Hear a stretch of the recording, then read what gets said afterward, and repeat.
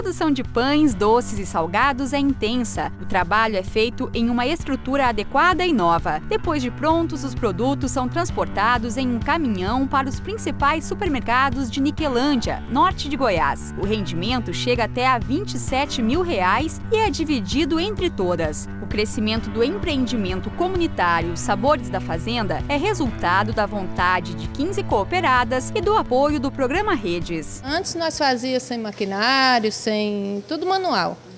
Aí com o suporte do pessoal do Redes, da Votorantim, Instituto, que nós chegamos onde nós chegou. Hoje em dia nós temos, temos esse, essa fonte de renda que é o, é o mais importante.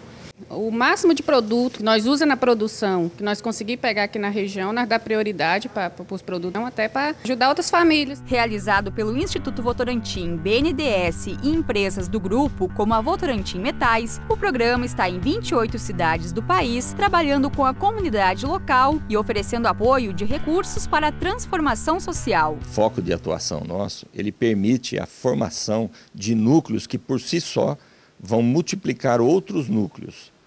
Então, porque em paralelo a esses projetos existe toda a parte da mobilização social.